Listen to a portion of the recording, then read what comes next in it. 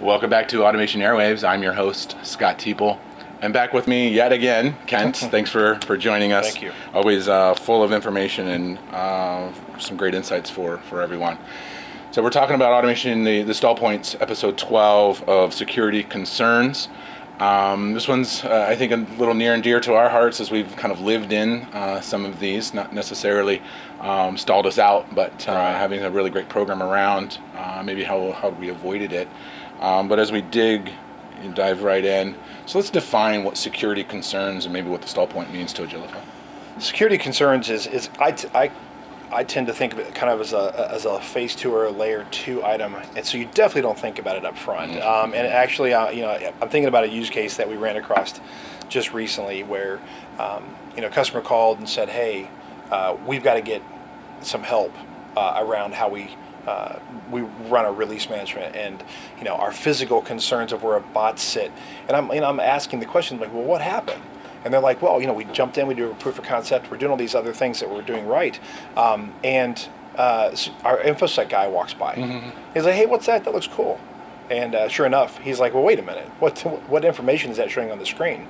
You know, all these things you don't think about up front. And, and those are things that you would normally have thought about in some of the earlier stall points that you referred to um, in some of the episodes, you know, around design authority and COE components. I mean, there's all sprinklings of security concerns within all those components. There's definitely an underlying kind of uh, infrastructure, if you will. We don't right? think about it when we're solutioning. Yeah, But yeah. it's very important from a holistic standpoint and from a compliance standpoint. Absolutely, absolutely. So as, as we think through, and that was a great use case to kind of kick us off um, around how somebody may Uh, be in their program, right? Whether Right. it's um, they're, they're a little more mature in their assessments um, and, and they're, they're maybe have 15, 20 bots, but maybe they haven't necessarily thought through. Uh, what are some of the, the triggers or some of the identifications that, hey, maybe I'm sitting in the, in the stall point? You know, I, I feel like I feel like a, the, the the fire marshal that walks into the building, right? So yeah, it's the first thing I want to say is where are your bots? You know, um, where are they physically located? Who has access to them? Do they have monitors? Do they have keyboards? Can we get the data? You know, all the GDPR requirement compliancy items that we need to make sure that we have embedded in our system have to be thought about. Um, and then you get into kind of uh, another layer where it's you know, so what are the roles that are actually creating these processes? Um, you know, we've got a human worker that's doing the work, and now we have a digital worker that's being asked you to do the work. You know, we know that the pr- the uh, uh, the uh, provisioning needs to be somewhat similar, similar, but you know, how does that report up? You know, uh, how do we log what's actually happening? And then, of course, you also have uh, another layer even on top of that, which is how do we delineate what a developer can do, and then what a production bot does, and that kind of rolls back into that release management, which is also part of that COE, com- you know, uh, kind of build out. So um, uh, there's a lot of different pieces to think about, There but is. they all kind of dovetail together. Yeah, yeah, and, and then the, the, the credentials themselves and the access that they have within the systems, and then how are those uh, credentials or passwords even protected and Well, then used throughout the system? Well, and protected and used, and then also how do we acquire them? Mm. So if I'm a developer on a process, how do I require? How do I acquire the proper credentials from a human worker that's doing it with the same access required? We've got to think through that. How do, how do they remote in? And how do they do that in an encrypted, secure type of uh, setting so that I can't see those and I can definitively def- defend the fact that I don't know what they are? yeah, and this is the documentation around, That's right? And giving the, documentation, giving the security individuals, the infosec, right, the, the confidence Right. um, that these passwords are sitting there that, that they don't necessarily need to have within the Right. system, but the bots do. So how do they really execute and, and, and have the confidence that these these passwords aren't just floating around and that there's some some controls around that? Absolutely, yeah. And uh, just to layer one more piece on that, you know, your, your IT is going to have um, group policies already in effect within your organization that they've thought of that meet a lot of these these requirements. Um, and so you want your bots to follow the same the same kind of philosophy. So you know, it's really a lot easier conversation with the infosec guy shows up and says, "Hey, I'd like a meeting with you." To say, by the way, yeah, we we've identified a lot of these things you might be asking. Let me show them to you out of the box, rather than.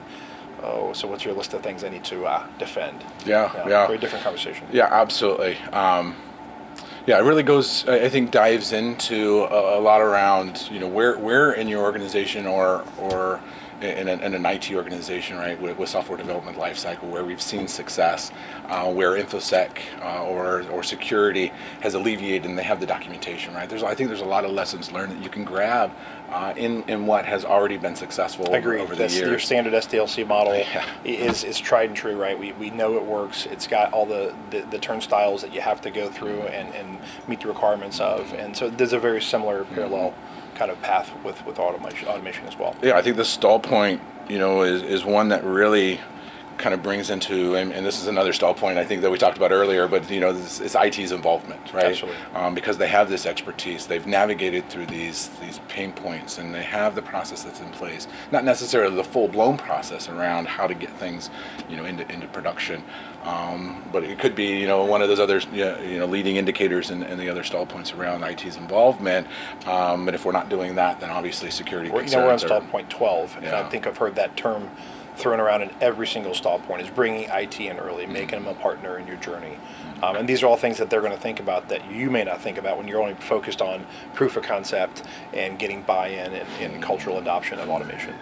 So you touched on maybe GDPR compliant um, I'm going to throw you a curveball here, but what can you say, you know, that, that can help our, our user base who maybe is sitting here uh, in, in Kansas City or Indianapolis or Florida or something and saying, okay, GDPR, why, why does that concern me? Um, and, and why would I even need to start thinking about that within my program? Well, I, you know, at, with any application out there or any solution out there that, that has, you know, uh, the ability to store data, we have we have to think about GDPR. We have to think about everybody's right, you know, to you know, the right to uh, for, for data to be forgotten. I guess is the kind of clause yeah, that they privacy, right? You privacy. don't you can't hold on to my data. Yeah. Right, and so there has to be a conversation that you have with IT, and that with, you have to have with um, your business function that says, do I do I want to you know how do far do I want to go with these with these uh, privileges? Do I want to make it a role based privilege? um, where I set up my uh, credentials and my access based off the role? Is it down to the individual? Um, do I want to, you know, how do I want to provision my assets or my uh, the physical machines and the access that they have access to on on the back back end and infrastructure within the organization? So, you know, there's all these different pieces that you have to ask yourself. Okay, so how am I storing this data? Where is it being stored? For how long? Who has access to it? Um, uh, and can I prove the fact that it's been used and then forgotten? Mm-hmm I guess, along the way, mm-hmm. um, rather than being stored in some some way, shape, or form. That's really great.